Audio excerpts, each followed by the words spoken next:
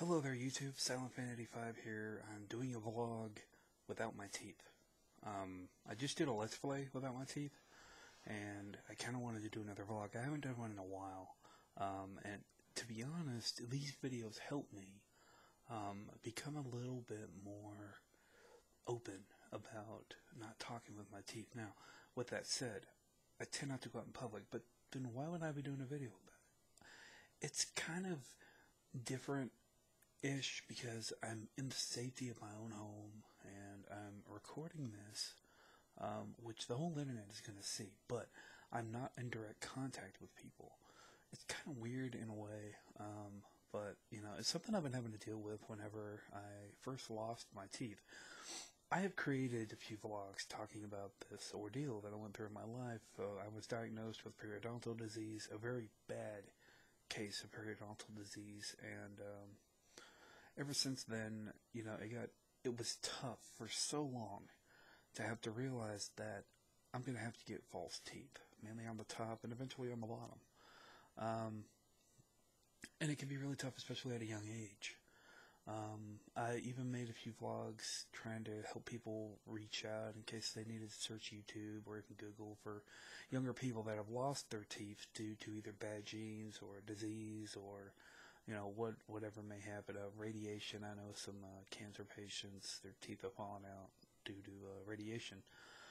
But um, it really it, it, takes time and it takes effort and understanding on people's part, especially family and friends, because losing teeth is like losing an arm. Um, it's an essential part of your body, and unfortunately, you have to get a prosthetic to better your way of living and health. Um, you can't exactly go through life without some kind of instrument to help you chew or uh, whatnot. Now, speaking is a different um, thing altogether because when you're speaking, you do sound kind of odd, like I do now. You your s's are kind of uh, weird sounding, and you can't really pronounce uh, the or f. You know, it's it's weird. And whenever I would listen to my grandfather or my grandmother on either side of my family talk, um, some of them had dentures, or some of them had to talk without their teeth in, or my own, my mother actually uh, had had to have her teeth pulled. And again, it can be genetic. You know, teeth loss is uh, not a fun thing. It's really not. Um, but it's it is an uh, and a part of life that you have to accept. It either runs in your family or circumstances of your life uh, have contributed to what has happened to you and that's that's really what I've kind of had to deal with. Uh, unfortunately, mine was due to both the stupidity in my childhood and um, or ignorance in my childhood. Really, not stupidity. I wasn't a stupid kid.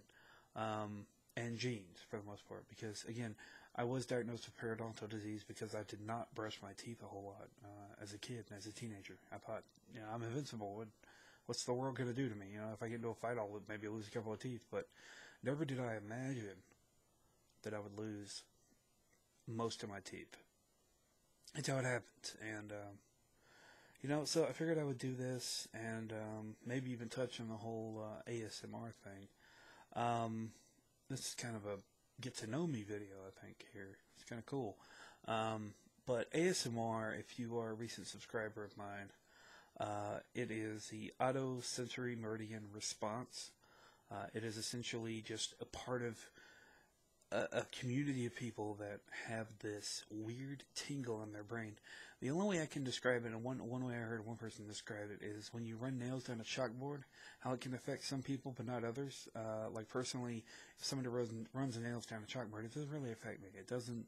And it's it's a horrible sound, but I don't like cringe or anything. It's just like you know, would you stop that? It's kind of annoying.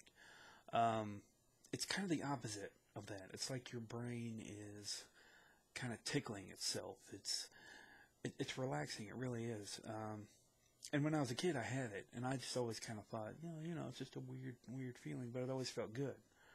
Um, it's been described as an orgasm. I've never really felt it to be kind of an orgasmic feeling, to be honest.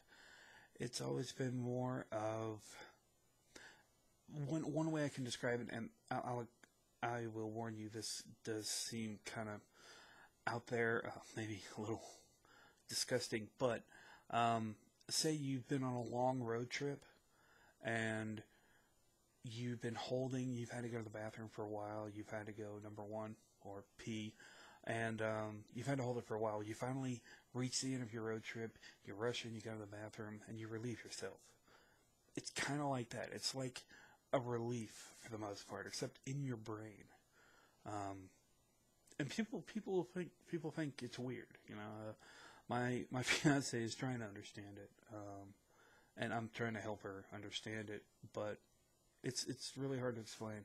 And I wish I could do a better job, but um, it's really cool. It's it's set off by slight sounds and whisperings and uh, personal attention, like running of fingers through hair and um, you know taps on wood and glass or the uh, light click of a keyboard. Um, and I recently started creating videos to try to uh, help any of my subscribers or people that watch my videos maybe um, kind of attain that sensation. And I'm not very good at it. I'm not the best. I'm still kind of new at it.